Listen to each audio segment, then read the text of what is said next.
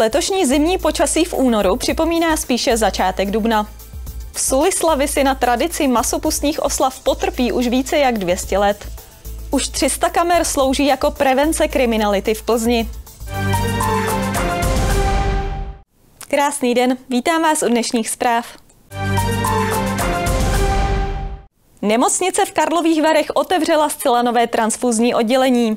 To původní bylo ve staré budově mimo areál nemocnice. To nové vzniklo přímo v areálu nemocnice rekonstrukcí bývalého infekčního oddělení. Transfuzka má i nové přístrojové vybavení a celkově je k dárcům přívětivější. Vítězná ulice v Karlových Varech, bývalá transfuzní stanice, pětipatrová budova, která už požadavku moderní medicíny nevyhovuje. Od minulého týdne je opuštěná. Stanice se přestěhovala do nového v areálu nemocnice. Nebyla zcela ideální pro provoz. Eh, byly tam vlastně podlaží, které nenavazovaly přesně podle, podle technologie, jak bychom potřebovali. Byly tam také malé skladovací prostory pro transfuzní přípravky a uh, celkově pro dárce tam byla nevýhodná i poloha ve městě, nebo bylo špatné parkování. Investice do rekonstrukce a přístavby pavilonu L, kde je nově umístěno transfuzní oddělení v areálu nemocnice Karlovy Vary, eh, se vyšplhala na částku 290 milionů korun a další investicí eh, v hodnotě 19 milionů korun bylo potom laboratorní vybavení. V prvním patře máme laboratoře, které jsou také vlastně v úzce konsolidované, takže pracovnice nemusí tolik běhat po, po schodech a jsou vlastně všechno, mají to všechno na jednom místě. A investice eh, proběhla právě prostřednictvím Karlovarského kraje. Co se týče laboratorní techniky, eh, tam eh, vlastně jsme využili výzvy v rámci dotačního titulu React EU a celá částka na toto vybavení byla pokrytá z této dotace. Ve staré stanici v loni provedli 9870 odběrů krve. Vedení nemocnice ale spolehá na to, že do nové stanice bude chodit více dárců. Je tady pro ně i velké parkoviště. Ideálně bychom potřebovali navýšit vlastně počty odběrů aspoň o 300 odběrů ročně abychom byli zcela soběstační pro vlastně potřeby naší nemocnice. O tom, co bude se starou budovou, zatím nebylo rozhodnuto. Zpracovává se projekt na využití eh, staré transfuzní stanice pro jiné účely. Eh, zatím úplně přesně není určeno, co, co s budovou bude, každopádně využita eh, by měla být. Z Karlových varů Miroslav Sedláček, televize ZAK. V sobotu 10. února došlo na silnici 1 lomeno 20 z Plzně do Karlových varů k dopravní nehodě, při které se zranilo 9 lidí, z toho 4 děti. Vrtulník letecké záchranné služby nemohl na místě zasahovat, a to kvůli husté mlze.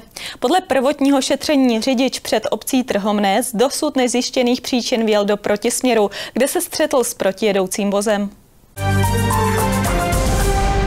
Město Plzeň rozšířilo svůj kamerový systém o sedm dalších míst.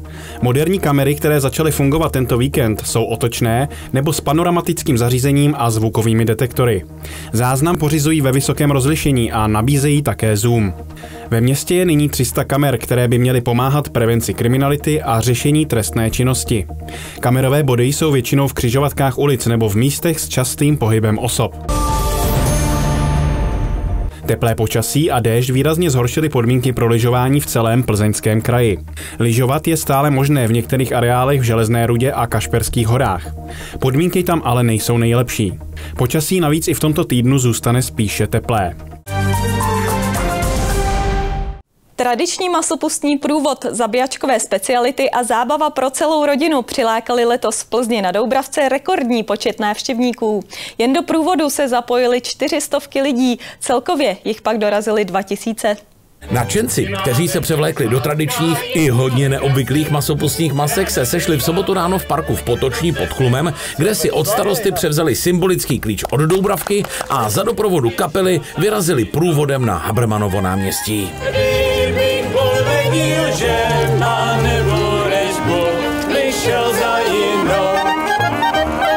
V parku už na ně čekali další stovky lidí a další pak přicházeli během celého dne za divadlem, hudbou, ale také na zabíjačkové dobroty. Myslím si, že letos byl rekordní účast, bylo hodně lidí a já jsem za to moc rád a průvod je krásný, vydržel se počasí, takže my už se budeme jenom veselit.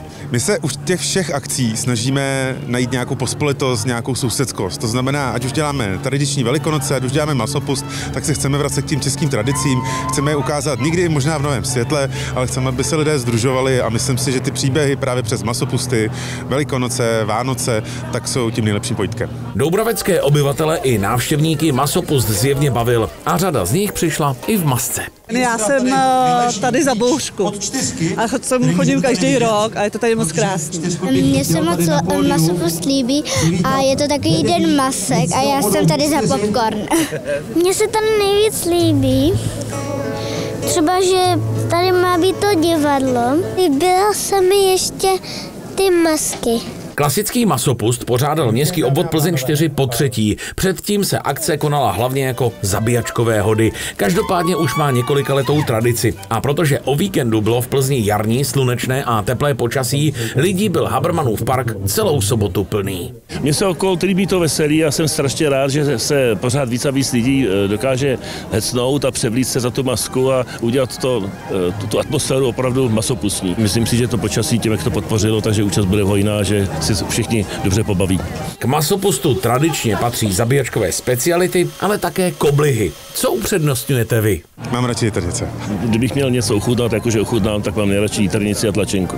Další tradici, kterou si plzeňská čtyřka bude připomínat ve velkém, jsou Velikonoce. 31. března jsou všichni zváni do újezda, kde zaspívají folklorní soubory a lidé se naučí plést pomlásku nebo malovat vajíčka. Z plzeňské Dubravky Jonáš Novotný, televize ZAK. Středně těžká zranění utrpěl 22-letý muž při nedělní nehodě, ke které došlo mezi Vochovem a Vejprnicemi.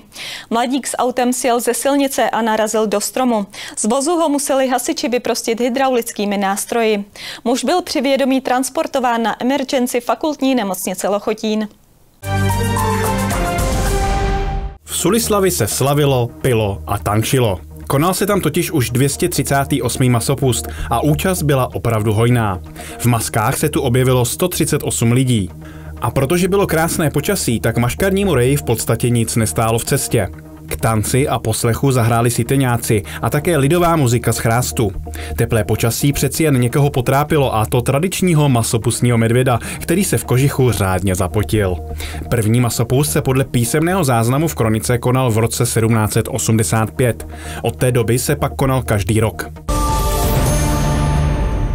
V měšťanské besedě v Plzni nový provozovatel otevřel oblíbenou kavárnu z restaurací. Dočasně byla uzavřena poté, co se bývalý majitel rozhodl provoz ukončit. Novým provozovatelem je Radovan Sochor, který má v portfoliu více úspěšných restaurací, včetně známé franšízové značky Švejk. Cílem nového majitele je v prostoru vybudovat společenské centrum po vzoru například kavárny Slávie, Café Savoy či Café Louvre a Café Imperial, které lidé znají díky šéf-kuchaři Zdeňku Polrajchovi. Letošní ročník plzeňského festivalu Smetanovské dny bude velkou oslavou roku české hudby i významného výročí Smetanova narození. Na co konkrétně se letos můžete těšit, se dozvíte v následující reportáži. Letošní smetanovské dny budou opět velkolepé. Účast na nich přislíbili nejen přední zahraniční umělci, ale též pianisté Ivo Kahánek, Jan Jiraský, Igor Ardašev, kytarista Štěpán Rak a další. Zaspívá například šestičlené vokální těleso Skety a svých 100 let oslaví koncertem České Noneto, nejstarší kontinuálně působící těleso na světě.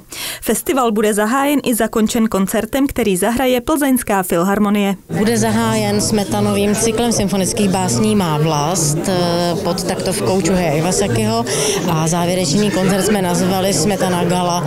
Budou to operní skvosty eh, z díla Bedřicha Smetany, ale také Smetanova česká píseň ve spolupráci s Vysokoškolským uměleckým oborem Univerzity Karlovy a s bormistrem Jakubem Zichou. Hlavní hudební část plzeňského festivalu se koná od 7. března do 11. dubna. Hlavními tématy 44. ročníku festivalu Smetanovské dny je eh, trh a kapitál v české kultuře 19. století, což je tématem plzeňských sympozí.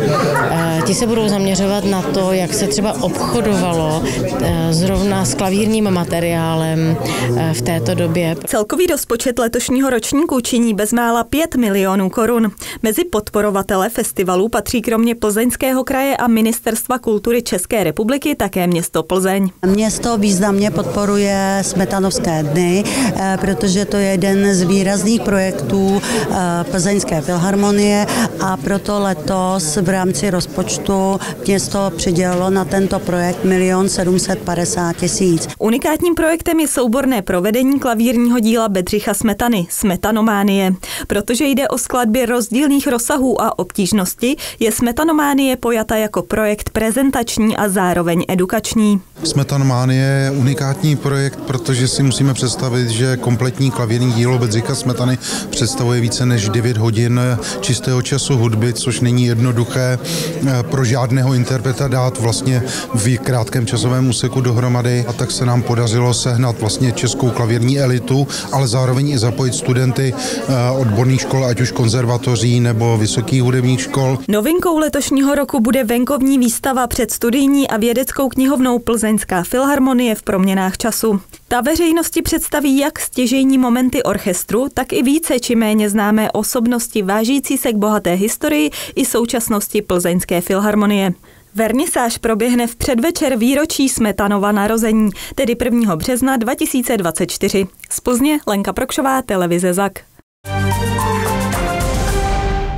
Při vyšetřování nehody, ke které došlo 8. února u Skalné na Chebsku, zjistili policisté, že žena, která nehodu způsobila, řídila pod vlivem alkoholu.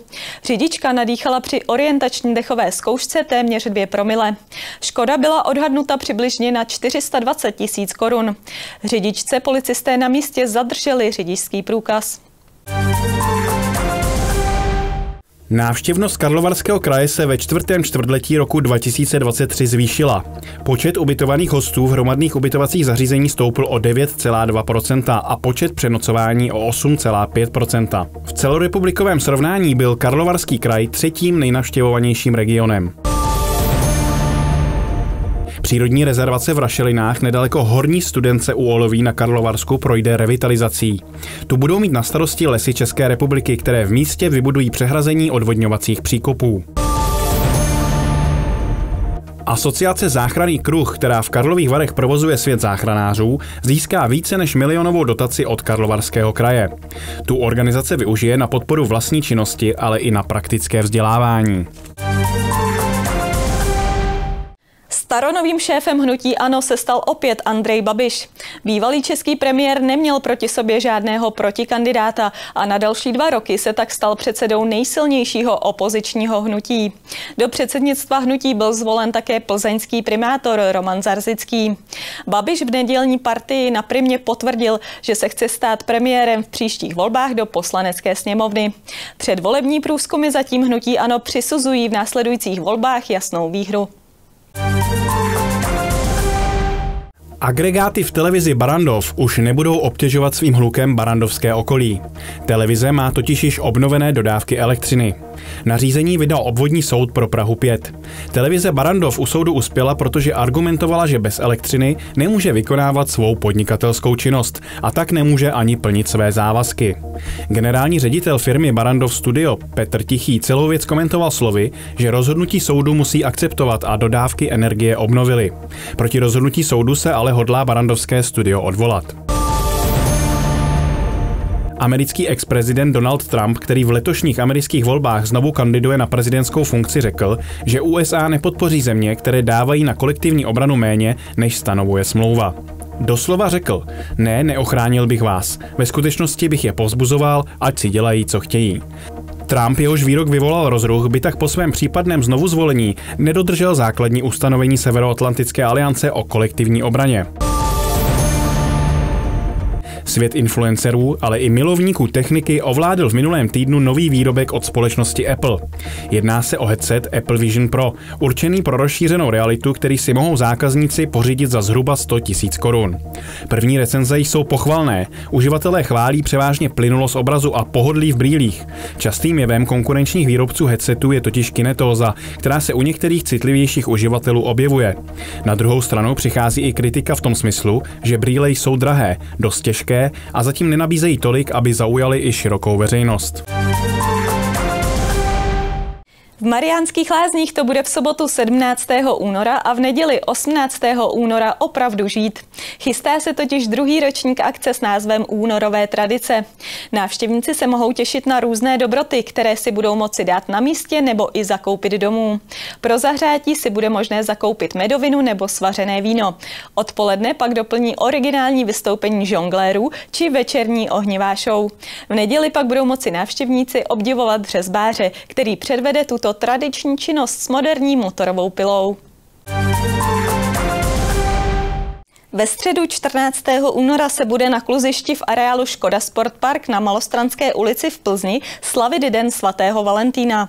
Akce startuje v 17 hodin a k dispozici bude tematická fotobedna i možnost oddání zamilovaných dvojic na 24 hodin, kterého se jako oddávající ujme místo starostka Slovan Eva Trůková.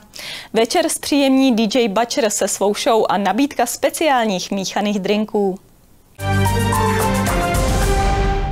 Plzeňští fotbalisté remizovali v prvním jarním ligovém kole doma s Mladou Boleslaví 1-1. Západočechy poslal do vedení v 63. minutě Tomáš Chorý. Hosté ale v 88. minutě vyrovnali díky proměněnému pokutovému kopu Tomáše Ladry. I bez tří chybějících spojek zvládli házenkáři talent týmu plzeňského kraje utkání se Zubřím. Západočeši vedli v průběhu duelu 21. extraligového kola o 6 branek. Vysoký náskok ale prohospodařili a nakonec byli rádi za výhru 26-23. Házenkářky Kinžbartu potvrdili v 17. kole MOL ligy roli favorita, když na palubovce Hodonína zvítězili vysoko 37-18. Střelecky se dařilo především pivotce Katce Dresslerové, která nasázela soupeřkám celkem 12 branek. Další jednoznačné vítězství si připsali na konto futsalisté Interobalu Plzeň. V 18. kole první ligy zvítězili doma nad Libercem 9-1. Dva góly vstřelili Mikuš, Křivánek a Kaká. Po jedné brance přidali Buchta, Vitýňo a Vnuk. Západočeši tak okupují druhé místo v tabulce a za vedoucích Rudimí zaostávají o tři body. Zprávy jsou dnes u konce. Mějte hezký zbytek dne a nenechte si ujít naše následující pořady.